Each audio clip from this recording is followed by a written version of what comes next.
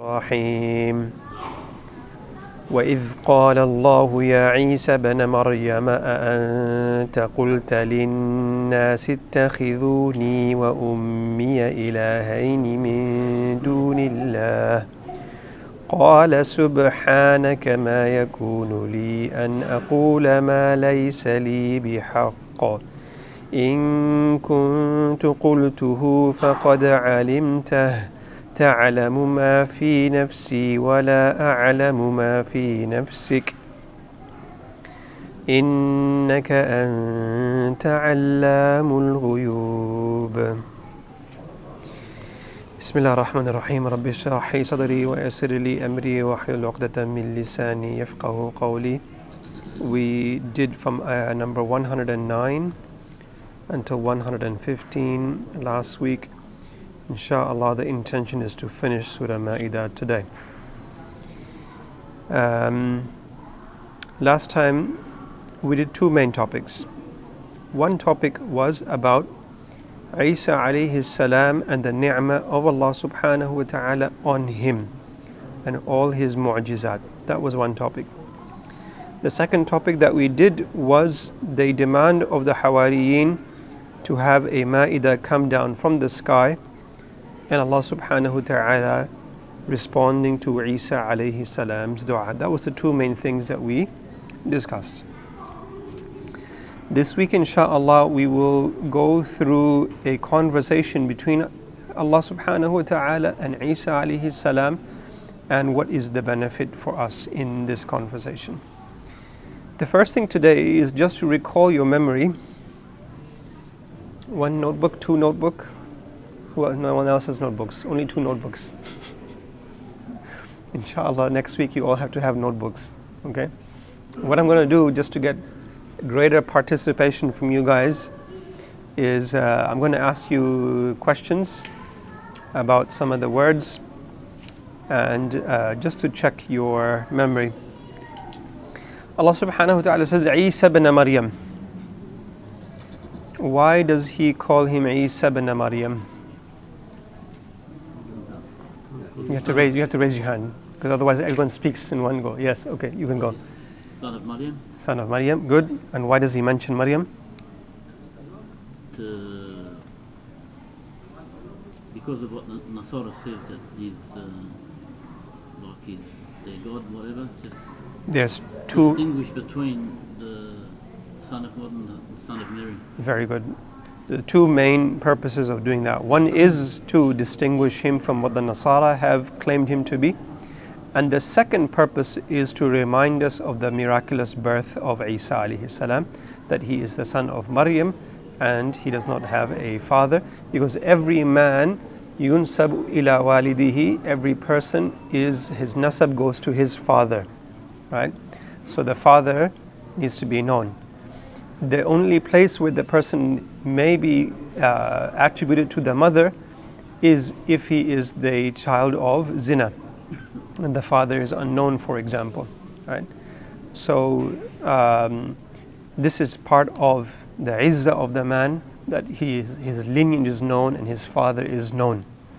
But here Allah subhanahu wa ta'ala calls him Isa ibn Maryam because there is no father at all so to remind us of those two aspects of it. Okay, very good. Good start, mashallah. We'll keep this up, inshallah. That's good. Allah subhanahu wa ta'ala says, وَإِذْ قَالَ This connects back to إِذْ قَالَ اللَّهُ يَا عِيسَى بْنَ مَرْيَمَ اذْكُرْ نِعْمَتِي in ayah number 110. And that was done when Allah says, يَوْمَ يَجْمَعُ اللَّهُ الرُّسُلِ Which day does Allah gather all the prophets? That is the day of judgment right? So if we look, if you open your Quran and you can see, beginning of ayah number 110, Allah says, إِذْ قَالَ اللَّهُ He then changes and says, إِذْ قَالَ الْحَوَارِيُّونَ in ayah number 112. So the Hawariyun could not have said that on the day of judgment. Necessarily it has to be in the dunya when Isa alayhi salam was here in the dunya as a prophet. Right? Then Allah subhanahu wa ta'ala here starts in number 116. He says, وَإِذْ قَالَ اللَّهُ You have a question? No. وَإِذْ قَالَ اللَّهُ يَا عِيسَى بْنَ مَرْيَمَ Now the question then becomes, sorry? إذ It has uh, several meaning. إذ generally uh, it doesn't have several meanings, but it, yes, it does have several uh, meanings within Nahu, yes. But here, what I mean is, what was the place and time that إذ is referring to? That's, that's my point. So the first one is يوم يجمع الله الرسل. The second one, when the Hawariyun are talking, is when Isa alayhi salam is here in the dunya. So the question becomes this last third one, وَإِذْ قَالَ اللَّهُ يَا عِيسَى بْنَ مَرْيَمَ When and where is this happening?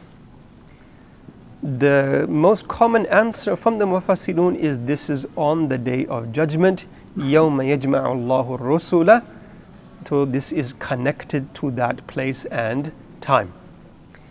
And um, the second qawl of Imam al-Suddi from the Tabi'een says that this is at the time that Allah has raised Isa alayhi salam to the heaven and then he is asking him questions.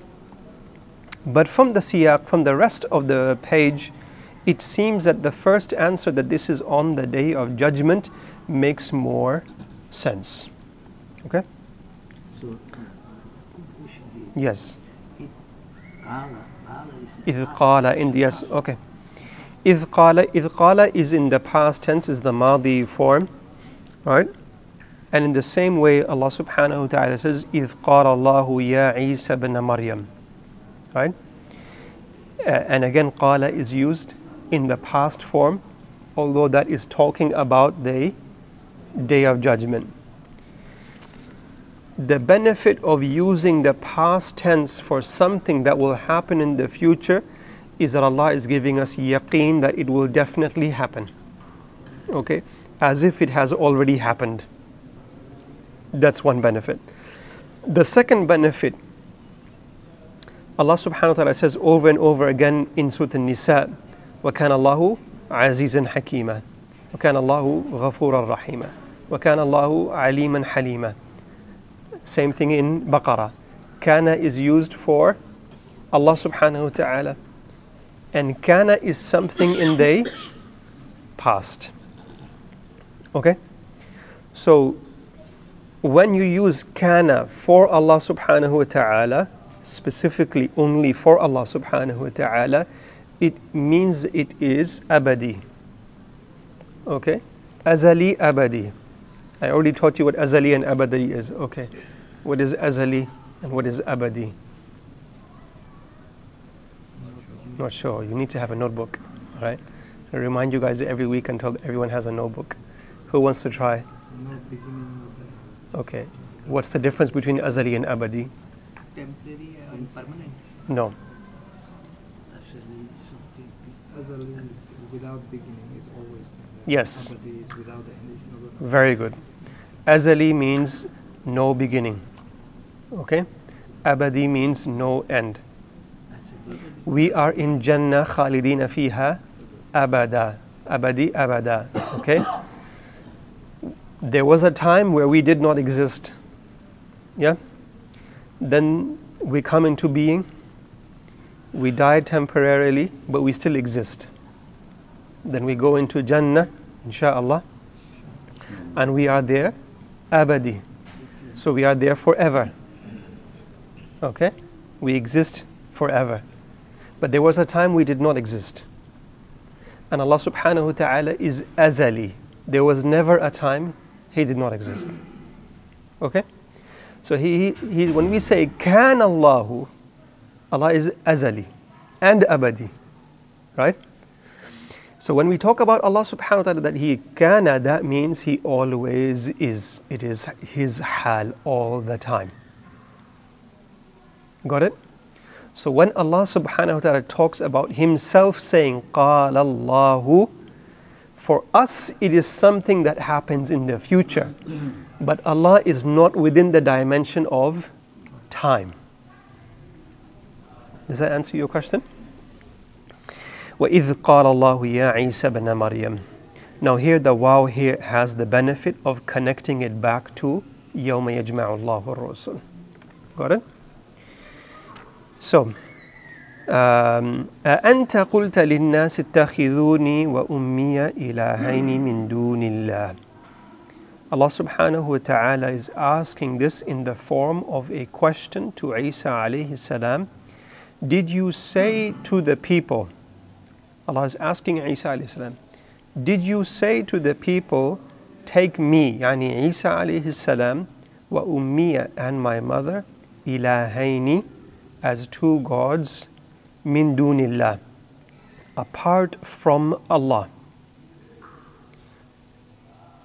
what is the reason that Allah is asking Isa alayhi salam this question?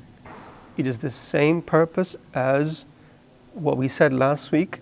يوم يجمع الله الرسل فيقول ماذا أجبتم what who answered your call and the same thing is in Arabic it's called tawbih tawbih is used to embarrass someone okay the kafir has multiple forms of punishment. The first kind of punishment is that which is physical pain. The kafir gets the punishment in the dunya, in the qabr, and in the akhirah. In the dunya, he gets the punishment in the form of all kinds of societal problems, all kinds of anxiety and depression, and naqs in his mal, and awlad. But that naqs in the mal and the awlad is shared with the Muslims.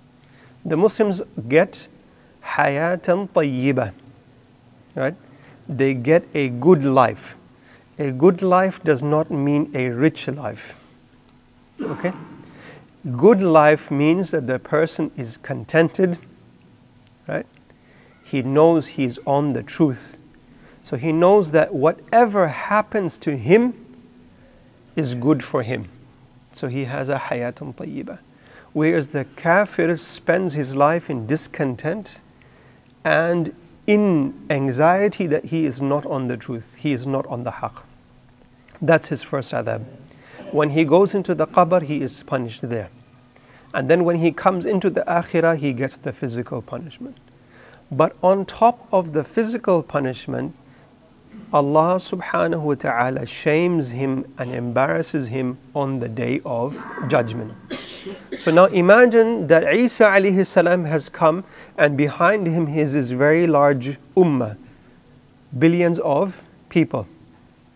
From the time that he became a prophet until the day of judgment, all of these Christians who said that, na'udhu billahi min dhalik, that Isa is the son of God, all of those people are standing there realizing that Isa alayhi salam is a human being just like they are. The truth is already known. The books have already been given. The decision has already been decided. So they all know what is going to happen. They can see the hellfire in front of them. Now you imagine the situation that Allah brings forth Isa as the witness and he knows everything that Isa has done. And then he says to him, Did you say to these people to worship you instead of me? Do you understand the purpose now? It is to shame them and to embarrass them. That's one thing.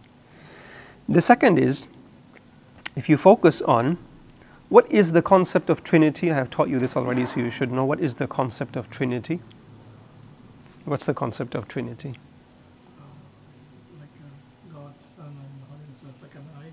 So is there Maryam alayhi salam in that? No. No. Okay. Did any of the Christians believe in Maryam alayhi salam as a part of the Trinity? There is a group of Christians that did do that. Okay. The majority in the world today don't have that. But if you go back historically, then there was a period of time where there were Christians who used to worship Maryam salam as part of the Trinity. That's one aspect. The second here is that Allah subhanahu wa ta'ala could have used another form instead of Maryam salam, like they have Ruhul Qudus. However, He chose that for a purpose. What is that purpose? is that if you probe the queer Christians and say that if Isa alayhi salam is the son of God, right, then how did that happen? Okay? And they don't have any reply to that, except that some of their pastors and, and uh, leaders have said that God sired Isa alayhi salam. Okay, billahi min dhalik then what they are saying is that they are giving an aspect of godness or uluhiyya to Maryam alayhi salam, and this is what the majority of the mufassirun have used as the explanation of why Allah subhanahu wa ta'ala brought wa ummiya here. The last part of this phrase, min dunillah. Min dunillah means instead of Allah. Okay? Whereas what they were saying is that we worshipped Isa as the Son of God and we worshipped the Holy Father as God as well. kulli. Right? But Allah says they didn't actually worship me at all, they worshipped Isa. When the mushrikeen would go and worship the idols, how would they worship them? They say that we do ibadah to these idols, we make dua from these idols because they take our dua to Allah subhanahu wa ta'ala. And if you go to, you know, the uh, illiterate uh, Muslim countries, and what you see happening there is people go to the mazar where there's a Pir Sahib buried and they make sujood to the qabr and then they make dua. Do they do that in Tajikistan? It's there as well, subhanAllah. And awliya Allah, and they go and, uh, sorry, it's a business. Yeah, it is a business and they go and ask dua and what their concept is is these things bring us closer to Allah subhanahu wa ta'ala. But Allah subhanahu wa ta'ala says they didn't actually worship me, they worshipped these things. They worshipped Isa alayhi salam, they never worshipped me. So it is as if to say that the true worship is to Allah subhanahu wa ta'ala, and when you worship anything else but God, it is as if you have not worshipped God at all whether that was in partnership or besides Allah subhanahu wa ta'ala. Now look at the response of Isa alayhi salam. Isa alayhi salam knows that he is being asked this question not because Allah does not know the answer. He knows he is being asked for the purpose of the shaming of his people. So here Allah shows the beautiful response of a prophet and how our true relationship with Allah subhanahu wa ta'ala should be. And there are multiple aspects to how he responds. First of all, he says, Subhanak. What does that mean? What does Subhanallah mean? Who should I pick on? Let's pick on you. You'll come every week now, inshallah. Go on, build on that pure what?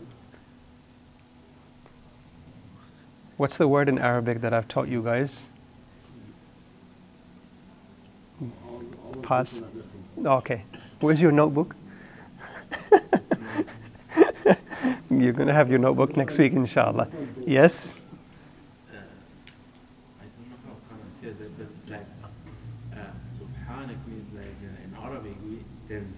Tanzih, very good. Did you see that? Write it on your, your notebooks, please. Tanzih. Okay? Tanzih means to purify your concept and your ideology of Allah subhanahu wa ta'ala. So the entire response that Isa alayhi salam, if he only said this, this would be enough. But Allah expands on what he says. So he says, for, for first of all, he says, Subhanak. Okay? You, Allah subhanahu wa ta'ala, are not worthy that anyone should be in partnership with you. You, Allah subhanahu wa ta'ala, are not worthy that any prophet of yours should say that to the people. You, Allah subhanahu wa ta'ala, are not worthy that you should be in need of anyone in between you and your abd Right? It's like a whole textbook, subhanak. You can go on and talk and talk and talk about it. Right? Then kaf here is for khitab to Allah subhanahu wa ta'ala. And then he goes on further. He says, ما يكون لي أن أقول ما ليس لي بحق. He doesn't say, I didn't say that. When you go to a court of law and you are asked a question, did you see Wissam shooting Bassam? And you say, I didn't see anything. Okay? That's what you would normally say. I didn't see anything. But here Isa alayhi salam says, Ma yakunu li. My place is not to say anything that would not be my place. Okay? So he is first of all saying Subhanak. Nothing evil is attached to you. And then he says, My place in the dunya is what? Is as a prophet, I have to follow what you are saying. It is not becoming of a prophet to say anything wrong. Then he says, In kuntu qultuhu faqad alimta. Here now is the crux of the matter. He says, If I had said it, then you would know it already. I want to teach you a definition of ilm. Who can give me, a, mashallah, we have uh, people who have knowledge that we didn't know about. What is the definition of ilm? To know something. To know something. So Allah subhanahu wa ta'ala is azali abadi. Okay, how does Allah subhanahu wa ta'ala know something? He knows everything all the time, right? His ilm is azali abadi. So why does Isa alayhi salam say faqad alimta? Why does he talk about the ilm of Allah subhanahu wa ta'ala like that? And the answer is that one of the definitions of the ilm is something becomes zahir, something becomes apparent and known. For example, Muhammad has taqwa inside his heart. Allah already knows he has taqwa inside his heart. But then he tests him so that, subhanAllah, Muhammad got cancer. Okay? And he was given options of getting money from haram to get this treatment and to go and get that kind of thing and that kind of thing. So he's being tested and his sabr is being tested. And then the taqwa becomes apparent. So it becomes known. Allah already knew about it, but when the matter actually happens, it becomes zahir. And that's one of the definitions of knowledge. Um, think of it a different way. Um, Newton, an apple fell on his head, so they said. And then he started thinking, and he started thinking, and he said there must be a law of gravity. Did the law of gravity exist before Newton? Yes, Exists. Khalas. This is the, the, the best example I can give you. The thing already existed. He just figured it out and called it a, a name. And so when he called it out, it became Newton's first law. Right? So the same thing happens that as things happen in the future, second by second, as they are happening, they become knowledge for us. Something new is happening. But for Allah subhanahu wa ta'ala, He already knew about it. So Isa alayhi salam says that had I said it, you would already know about it. You would not need to ask this question. تعلم ما في نفسي ولا أعلم ما في نفسك.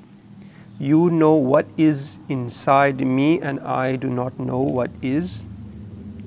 How do we translate that? Nafsi. Now this is, this is like quite complex, right? I have a nafs, I have a being. Where's the nafs? How does it exist? Okay. The easiest way to explain it, it is a that. It's your being. And so the same thing that we say about Allah subhanahu wa ta'ala, the nafs of Allah subhanahu wa ta'ala is His that as well. So some people have given the tafsir of saying, تعلم غيبي ولا أعلم ما في غيبك. That's one tafsir, is to say that you know what is hidden for me. Nothing that I have is hidden from Allah subhanahu wa ta'ala. You know everything that I hide from human beings, you know that. And I do not know your hidden things. because we only know about Allah subhanahu wa ta'ala what He has told us about Himself. إنك أنت علام الغيوب إنك would have been enough, right? But anta here has been brought in for ta'kid allamul ghuyub. We did last week. Allam is the mubalagha form of the one who knows. Al ghuyub is the plural form of ghaib. Okay? Any questions so far? إنك أنت is it emphasis is it It's the emphasis, right? Because ka here is for khitab. And then the anta is added here for ta'kid. ما قلت لهم إلا ما أمرتني به. We say لا إله إلا الله. The brother yesterday was asking when you do the tashahud, how do you say it? So one of the forms that the Hanafis use is when they say La ilaha illallah. So there's the raising of the finger when you say La ilaha, and when you say illallah, you put the finger down. So one is negation and one is affirming. So the first ayah talked about him negating what he did not say. Okay? And then to add further emphasis on what he has not says, he talks about what he actually says. All right? You got this point? He says, "Ma qultu lahum illa ma amartani bihi." I only told them what you ordered me to say. What did you order me to say? أَنِ اعْبُدُوا اللَّهَ رَبِّي وَرَبَّكُمْ And here is as an order, right? It is as if Isa alayhi salam is now talking to the people and saying, U'budullaha rabbi wa rabbakum. Got it? Now, what is the benefit of that? What is the meaning of Rabb?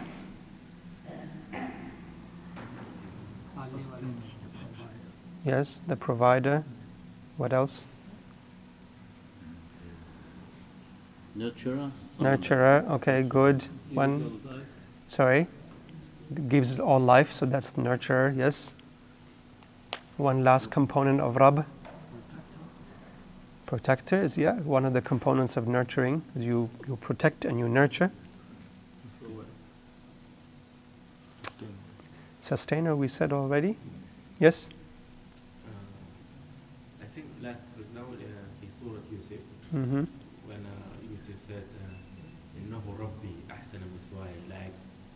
Take care of him when he's one Yep.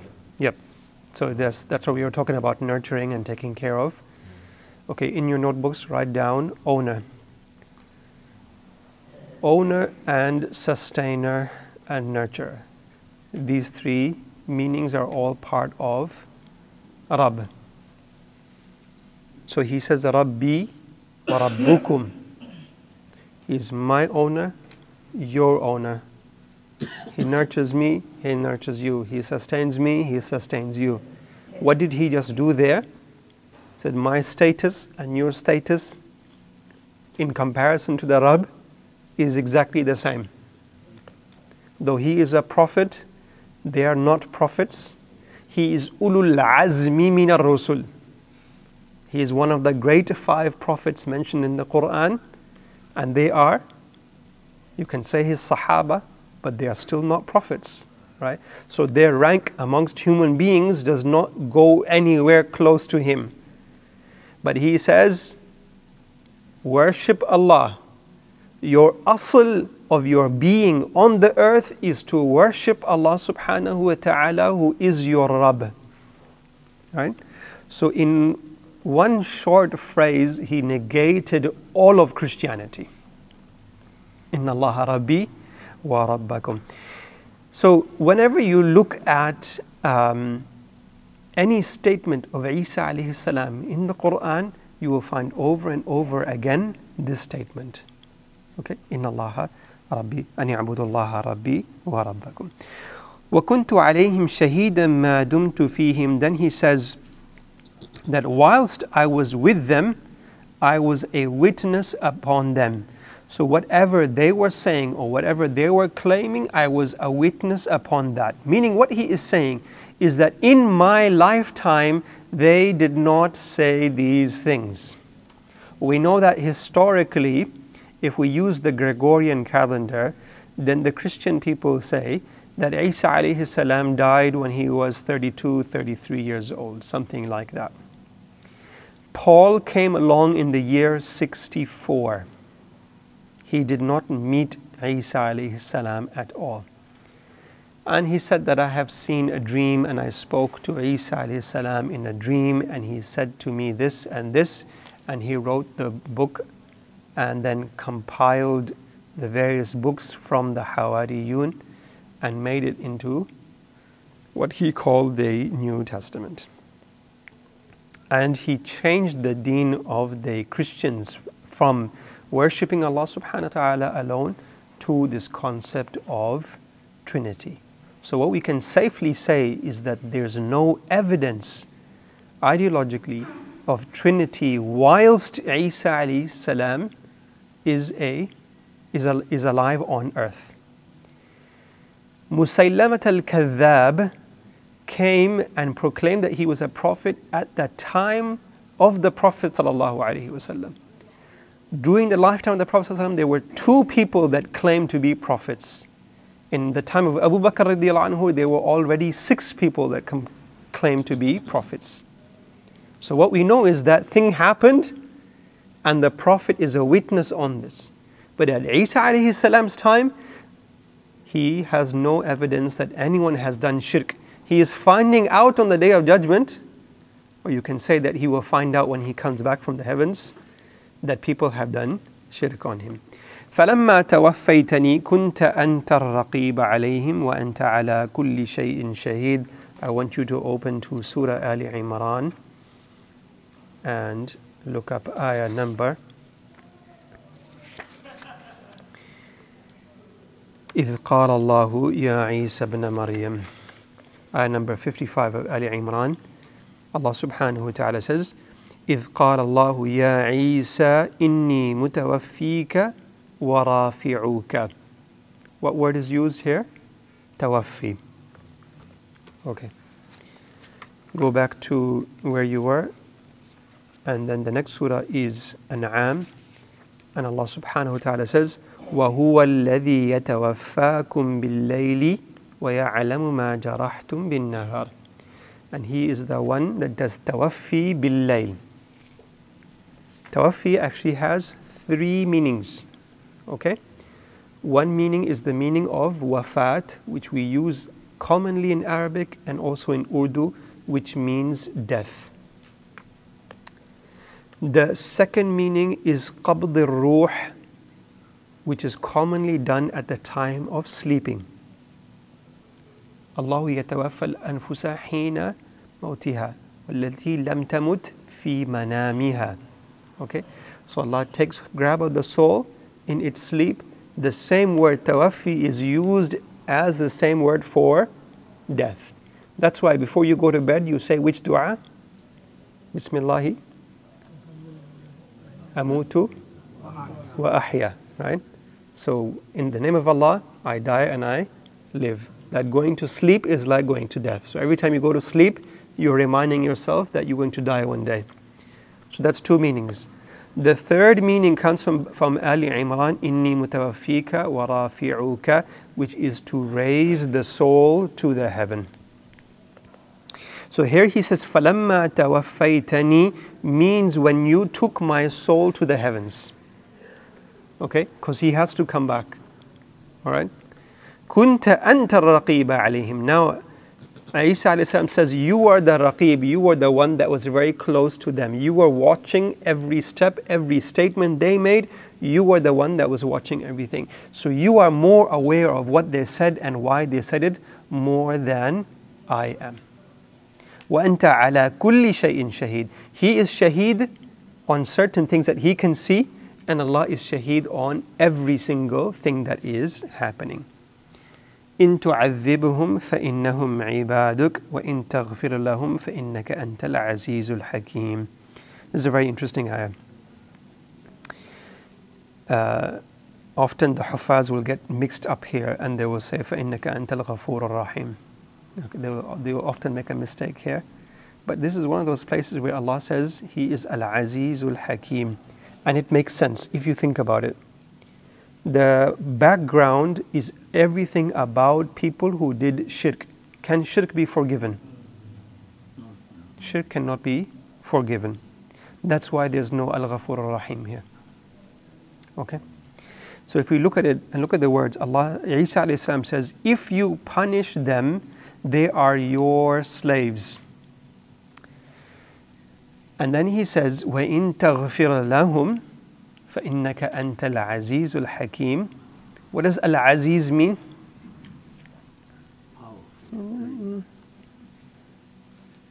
What does Al-Aziz mean? Remember? No? Pass? Okay. What does Al-Aziz mean? Pass. Al-Aziz. Greater. Creator is, no, Al-Khaliq. Creator ni great. Great. Um, kind of. Al Aziz means the qudra that nothing will be ghalib over it. Okay? So nothing can overcome the power of Allah subhanahu wa ta'ala. He is able to do everything. Then Allah subhanahu wa ta'ala says, though He has the ability to do everything, He is Al Hakim. So He uses that with hikmah. So Isa alayhi salam is saying, if you punish them, they are your slaves. You are al Aziz al Hakim, therefore you punish. Right? And he also says, if you forgive them, there is no one that can stop you from forgiving them because you are al Aziz. What he is doing here is putting himself in complete submission to Allah subhanahu wa ta'ala and saying, I didn't say anything wrong. What I said to them, what you ordered me to do, then whatever you do with your slaves, I am not coming between you and what you do with your slaves. Okay? I'm not here to protect them. You are Al Aziz, you are Al Hakim. If you decide to punish them, you are Allah and you own them. And if you decide to forgive them, then you are Al Aziz and Al Hakim. But what he is not saying is, please forgive them. He's not asking for their forgiveness because he knows that they have done shirk and therefore they can't actually be forgiven. All right. Ibrahim alayhi salam made a dua. رب إنهن أضللن كثيرا من الناس فمن تبعني فإنه مني ومن عصاني فإنك غفور رحيم. He said غفور رحيم. Right? Ibrahim alayhi salam says that these idols they have misguided many people. Whoever has followed me, so he is from me. فَإِنَّهُ مِنِّي وَمَنْ عَصَانِي Whoever has disobeyed me, then you are غَفُورٌ Rahim. So Ibrahim alayhi salam asked for maghfirah. Musa alayhi salam, on the other hand, what did he say about Fir'aun? رَبَّنَا اشْتُدْ عَلَى أَمْوَالِهِمْ What did he say? What's the ayah? ربنا طمس على أموالهم واشتد على قلوبهم فلا يؤمنوا حتى يروا العذاب الأليم when the, when the adhab is being asked for, he says, Oh Allah, destroy their amwal and lock their hearts so they don't believe until your adhab comes. Okay? So on the one hand, Ibrahim alayhi salam was seeking mercy. On the other hand, Musa alayhi salam was seeking adhab. Nuh alayhi salam sought adhab on his people. Yes? Didn't he? And here Isa alayhi salam is saying that if you forgive them, I'm not asking for their forgiveness. I'm just saying that if you forgive them, you have the capacity. You are Al Aziz Al Hakim. Now understand why. Ibrahim alayhi salam's dua was in the dunya, and his people were not wiped out. Nuh alayhi salam's people were wiped out, that was in the dunya. Musa alayhi salam's dunya, uh, dua was in the dunya, and Fir'aun was wiped out. All of those dua are what? In the dunya. Isa alayhi salam is asking in the day of judgment. Okay? There, there is no purpose of asking for their punishment. What he is actually saying is, you are the judge, you are the Rabb. He is putting himself into complete ubudiyah, complete submission. He is completely as a slave in front of Allah subhanahu wa ta'ala. This is how a person should be with Allah subhanahu wa ta'ala. One more amazing thing in this ayah. all of humanity is considered abid. Those of the abid who worship Allah subhanahu wa ta'ala are ibad. Did you get that? All of humanity are abid. Those who are believing in Allah, worshipping Him alone, are considered ibad. وعباد الرحمن الذين يمشون على الأرض هونا. Here, Isa alayhi salam says ibaduk. Why does he say that? Because only those who recognize Allah in the dunya are considered ibad. In the day of judgment, everyone is ibad. Because they have all now recognized Allah subhanahu wa ta'ala, number one. Number two, no one is able to do anything by themselves. Their skin says, You did such and such. Their hands say, You did such and such. Your feet say, You did such and such. So it is as if you no longer have capacity over your own body. So everyone is now truly enslaved to Allah subhanahu wa ta'ala. Shall we do the last two ayat? You guys have himma? You are tired? Finish the surah? Okay. قال الله هذا يوم ينفع الصادقين صدقهم Allah says this day is the day that the truthful will benefit from their truthfulness. Shaitan will come on the day of judgment and say, وَوَعَدْتُكُمْ فَأَخْلَفْتُكُمْ I gave you a promise and I turned away from my promise. Is he being truthful or not? Yes. On the day of judgment, he is being truthful. Because he is saying that I, you know, tricked you. So now he is complete truthfulness. But does it benefit shaitan? No. He goes into Jahannam. So here what is meant by as-sadiqin is those who are as-sadiqin in the dunya, they'll be verily those who will be benefiting on the day of judgment. The kafir will come, when you come to Surah An-Nahl, he will say that we did not worship these shuraka. And Allah will call them liars on the day of judgment.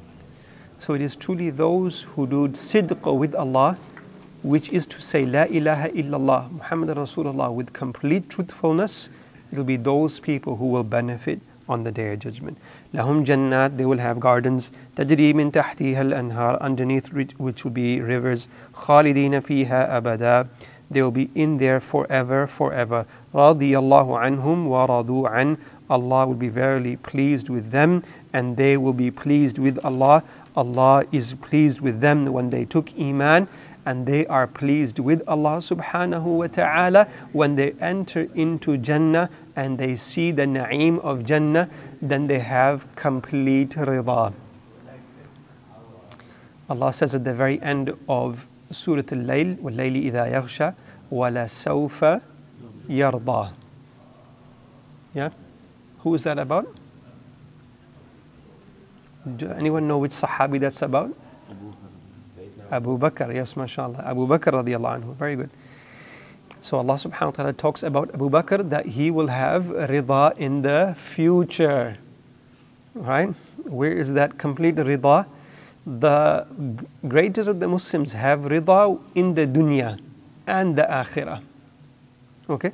When you have complete sabr over what Allah has given to you and what He has not given to you, then that is a state of rida. Okay? The sabr has multiple darajat, and the highest daraja is rida, that you are pleased with what Allah has given you. So when you enter into Jannah and you see what has been given to you, then you are pleased with that which has been given to you.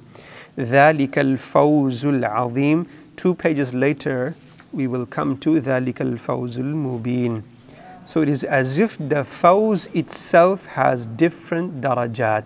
Fawz means victory. Right?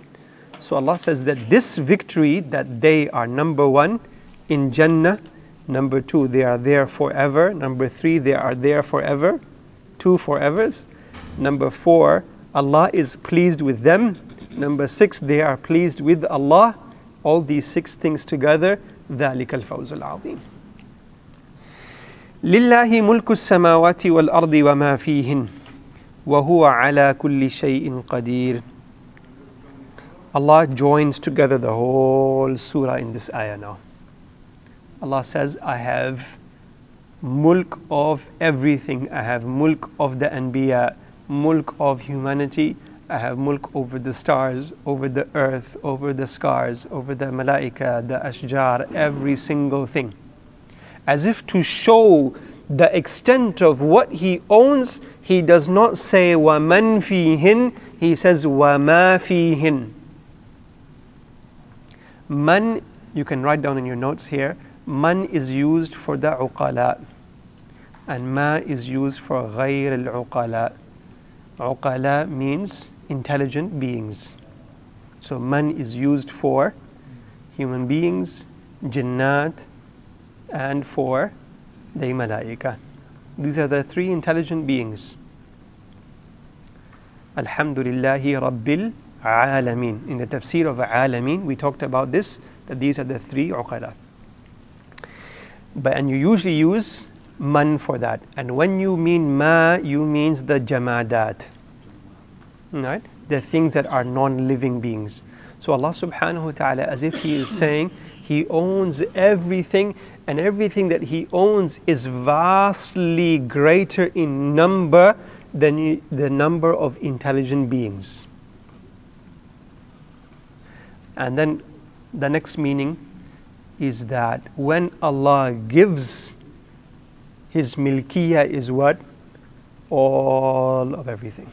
There's nothing that is outside of His kingdom, outside of His ownership. How did the surah begin? Ya ayyuhalladhina amanu awfu bil uqud. We talked about ahkam after ahkam after ahkam. We then took a pause and then Allah directed His discussion towards the Yahud. Then we came back to ahkam and then ahkam and then ahkam and then more ahkam and then He started a discussion to the Nasara which we did for the last few weeks. And then He finishes all of that and says, that you, the Yahud, did not listen to Allah subhanahu wa ta'ala, so you will be punished. And he says, You, the Nasara, did not listen to Allah, you will be punished. You, the Muslims, listen to Allah, so you are from those radiyallahu anhum wa radu an. And Allah's milkiyah is that He gives to whomsoever He wills, and His milkiyah is whole. To follow a hakam is to connect with rububiyyah or uluhiyyah.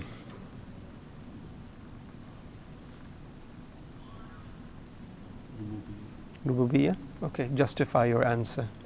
You know how they say in HSC exams. It's a lordship, like whatever a lord commands, you have to follow. okay, good. But doesn't the ubudiyyah relate to il- uluhiyyah? It's a trick question. Ubudiyyah relates to both rububiyyah and uluhiyyah. You can justify your answer in both different directions, right? Allah subhanahu wa ta'ala is the ilah, therefore He is the ma'bud. Because the definition of ilah is al ma'bud, right?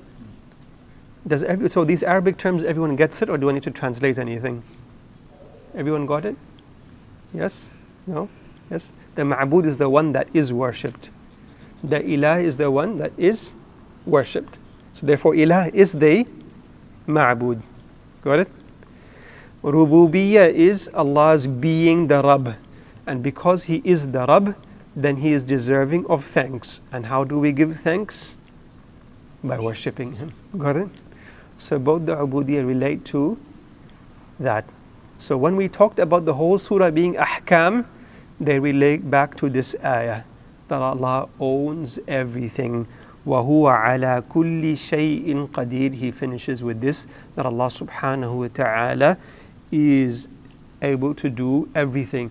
This then connects to the next surah الحمد لله الذي خلق السماوات والأرض وجعل الظلمات والنور right so inshallah we will start from that from next week alhamdulillah we have finished surah ma'idah we started back in 2015 so in 8 years we have completed 8 ajza alhamdulillah one juz per year inshallah sorry How long it takes to Ma'idah? How long is Ma'idah? Ma'idah, I think, is about 24 pages from No, memory. How long it takes when you started? Well, I think we did Ma'idah a little bit faster. I'll have to go back and go onto YouTube and see when I uploaded the Ma'idah. Yeah. Can you stop that? Ali, Jazakumullahu khair. Yes.